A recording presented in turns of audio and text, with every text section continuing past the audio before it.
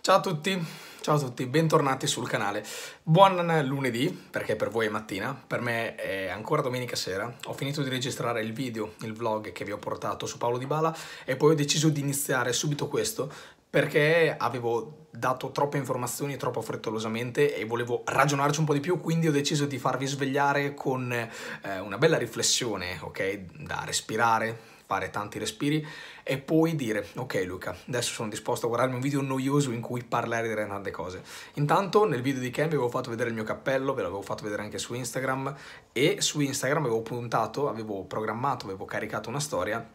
nella quale vi dicevo che all'interno del pacco arrivato direttamente dallo Juventus Store eh, ordinato online c'era anche una foto di Paolo Di Bala. Aprendo il pacco in maniera frettolosa quella foto si era strappata. Eccola qua sembrava dover essere una, una, specie di segno del destino e adesso lo andiamo a leggere insieme perché dietro ci sono scritte cose come caro tifoso grazie speriamo tu sia felice del tuo acquisto. E all'interno la foto di Paolino con il pallone della Champions e questa strappata clamorosa che mi aveva fatto pensare a un addio scusa Paolino se ho pensato a una cosa del genere, di Paolo Di Bala. Ok, ora non è ancora conclusa questa trattativa, dato che comunque fino a giovedì Di Bala potrebbe potenzialmente tornare eh, papabile come giocatore nuovo del Manchester United. A Manchester c'erano già i tifosi che giravano con la maglia numero 10, Rez, sulle spalle dei Red Devils, ovviamente, perché qualcuno mi ha fatto notare che ovviamente Rez sono i Liverpool dei Red Devils, con il nome di Bala, il numero 10, che in realtà è di Rashford, ma questo è un altro discorso. Già consapevoli, già speranzosi, già eh, vogliosi di abbracciare Paolo Di Bala nella loro squadra. Ora, io sono... ora è difficile parlarne così, ragazzi, è complicatissimo, perché io è da inizio anno che vi dico che per quanto mi riguarda Paolo Di Bala andrà via dalla Juve. E nonostante la notizia fresca sia di questo scambio interrotto, io sono ancora convinto che in un modo o nell'altro Paolo ci abbandonerà. E mi dispiacerà tantissimo, perché per quanto mi riguarda a livello di incongruenza in campo con Ronaldo siamo a livelli altissimi, ok? Quindi Paolo e Ronaldo faranno fatica a coesistere ad altissimi livelli, almeno che Sari non sia davvero così bravo da piantarli in un 4-3-1-2, eh, in modo da valorizzare a livelli incredibili tutti e due i giocatori, creare un mix, un'alchimia di questo Dibaldo, all'estero va tanto di moda il termine Dibaldo, qui da noi un po' meno, per farli splendere, per farli diventare due giocatori fantastici in armonia, farli giocare a memoria, a menadito. Io sono convinto che Ronaldo renda molto di più con un centravanti, con una prima punta. Non ero contento di Lukaku, ma sono ancora convinto che la società proverà a vendere Dybala perché comunque Dybala è stato fatto capire che eh, non è più benvenuto almeno che non sia stata una strategia solamente per invalidare il passaggio di Lukaku all'Inter dato che Lukaku ha flirtato con la Juve quindi dopo all'Inter avrebbe fatto una figuraccia. Adesso siamo ancora una volta mi dispiace dirlo sempre però siamo sempre nel campo delle illazioni. Per quando facciamo i video di calciomercato siamo sempre nel campo delle illazioni perché possiamo fare solo dei ragionamenti per cercare di capire la Juventus ha ceduto Moise Ken, questo è ufficiale, lo sappiamo. La Juventus stava trattando Mandzukic e Dybala con lo United. Mandzukic potrebbe non saltare perché lo United potrebbe aver bisogno comunque di un centravanti per sostituire Lukaku, potrebbe davvero pensare al nostro Marione. Eh, Paolo invece potrebbe rimanere a Juve, potrebbe essere inserito in altre trattative, potrebbe andare al PSG, potrebbe comunque andare allo United. Lo impareremo durante questa settimana perché chiuderà il mercato inglese, il mercato francese non chiuderà questa settimana, quindi avremo tempo poi per andare avanti, ma dovesse rimanere Dybala e Rosa, la Juventus si ritroverà quindi con in questo momento Dybala, Higuain, Mandzukic e Ronaldo per il ruolo di prima punta. Eh, non c'è più Ken, probabilmente non ci sarà più Lukaku perché la Juventus Lukaku lo avrebbe preso in uno scambio con Dybala in modo da non sborsare altri soldi, di fare plusvalenza con Dybala. A livello economico sarebbe stato un successo e a livello di campo avresti comunque sostituito Dybala con un centravanti che poteva fare comodo. Però se la Juventus cercava un centravanti significa che Sarri sa benissimo che Cristiano Ronaldo ha bisogno di quell'attaccante. Dovesse rimanere Wayne potrebbe essere un altro discorso. Ora andiamo indietro nel tempo, partiamo, andiamo, ok, con la mente, giriamo, giriamo, giriamo. Un vecchio video che avevo fatto qui sul canale. Avevo detto che avevo parlato con una persona molto affidabile, che sa di cosa stiamo parlando, la stessa che mi aveva parlato di Cancello di questo incontro di Ibiza entro giugno eh, in cui diceva che la Juventus lo voleva cedere per fare plusvalenza, poi è stato ceduto Spinazzola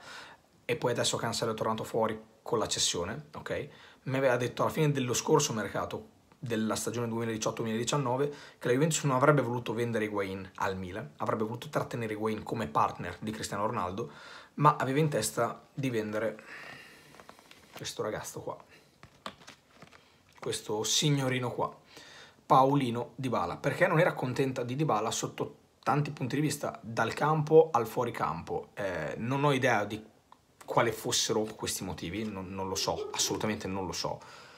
eh, però in campo,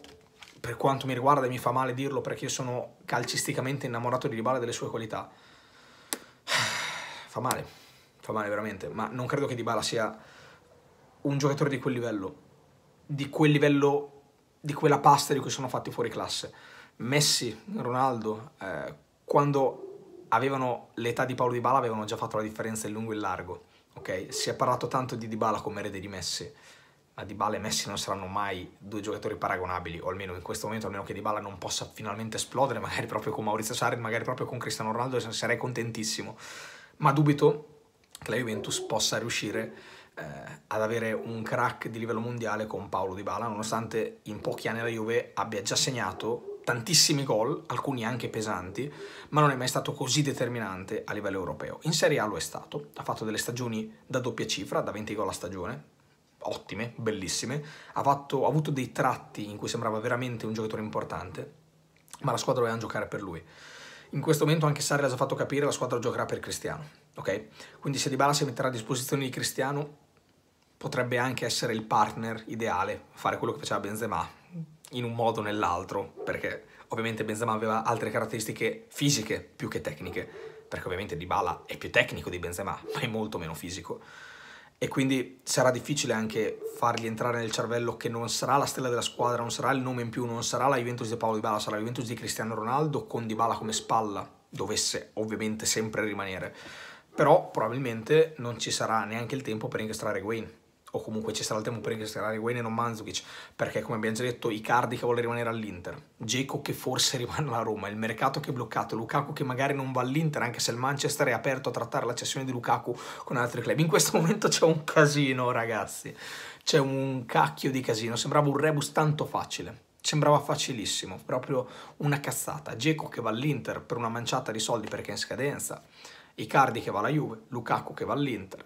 post, Higuain che va alla Roma, tutto incastrato, la Juve che magari vende di bala all'estero, ci potevano stare tutte queste cose. E invece a pochi giorni dalla chiusura del mercato inglese ci ritroviamo con eh, tutte le squadre che devono cercare di incastrare chi più ne ha più ne metta, la Roma che forse non ha tempo di cedere Geco, i Cardi che vuole rimanere all'Inter, i Dybala che vuole rimanere alla Juve, i Goin che vuole rimanere alla Juve, una volta non era proprio così, cioè se la Juventus diceva eh vabbè te vuoi rimanere però io ti voglio vendere, non ci si pensava tanto prima di dire mi dispiace, io sono la Juve e decido io. E invece in questo momento Higuain sta facendo pressione e vuole rispettare il contratto, dato che l'anno scorso non si è trovato bene fuori dalla Juve. Questo signorino qua che si era strappato mentre aprivo il, il cappello eh, sembrava destinato a scappare in Inghilterra, non era convinto della soluzione Manchester, l'ha fatto capire chiedendo delle garanzie tecniche importanti, chiedendo tanti soldi, chiedendo i diritti d'immagine, voleva diventare la stella, la star, uno dei giocatori più importanti a livelli di Dybala, a livelli di De Gea, a livelli di Alexis Sanchez. Il Manchester non se l'è sentita, Solskjaer ha visto che Dybala non era convintissimo e probabilmente mi viene anche da dire che il cuore del Manchester ha prevalso in questa storia, perché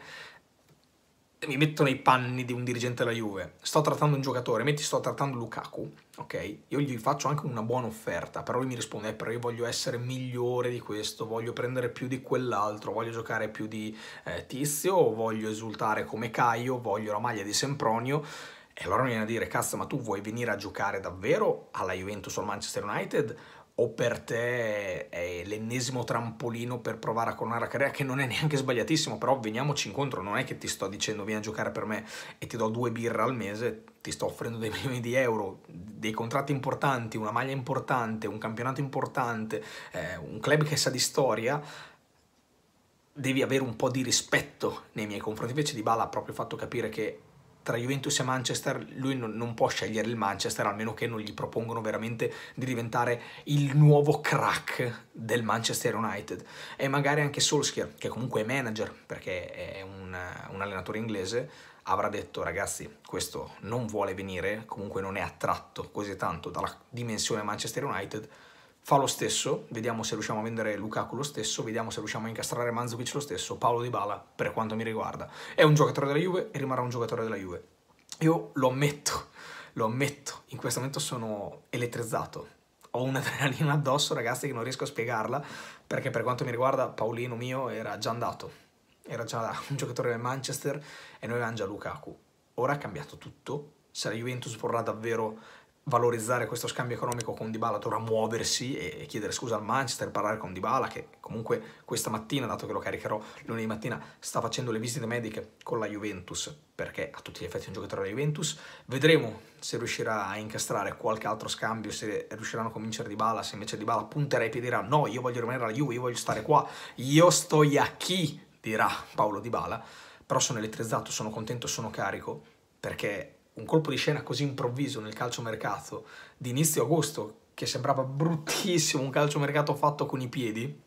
veramente io non me l'aspettavo e adesso aspetto l'ennesimo colpo di scena. Spero che si riapra più questa trattativa piuttosto che, eh, che si concretizzi quell'altra, ma spero davvero di non cedere Joao Cancelo. Non voglio Danilo, per l'amor del Signore teniamo Cancelo e non prendiamo Danilo. Delle due vendiamo Paolo Di Bala per 100 milioni cash, 80 milioni cash e teniamo Cancelo. Mi dispiace Paolo. O se no puoi, puoi fare il terzino destro? Chiedete su Instagram a Dybala se può fare il terzino destro, magari si adatta, magari abbiamo scoperto di avere un talento incredibile in rosa e neanche lo sapevamo.